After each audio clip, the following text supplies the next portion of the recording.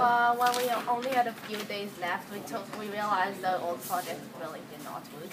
So so we decided to make a conveyor belt instead. All right.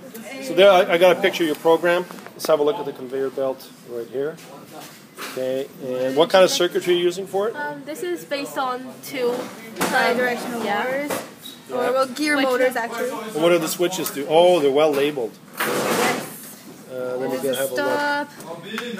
It, this Yeah, one yeah, stops yeah, it. This good. one makes it reverse. That makes it go slower. That makes it go faster, and that makes it. That's cool.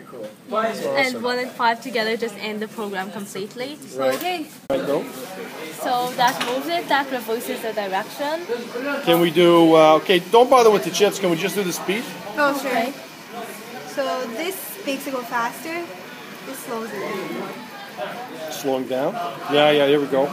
And this speeds it. And then let's stop it. See what happens to the light. Okay, There it is. and that's it. And that's your That's bi-directional motors. Gear.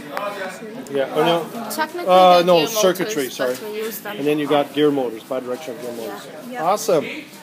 And then your program just stays like that. the program just has instructions. Yeah, the program How just does it has. do that? Instructions.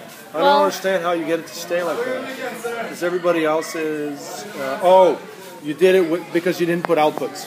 Yeah. Yes. You didn't do any C out code. Yeah, I wanted. no yeah, I was thinking of So you putting just like. did hardware. Yeah, I was thinking of putting this is the maximum speed, but then it would probably go down eventually. Then you won't be able to see the instructions. It will be annoying. So yeah.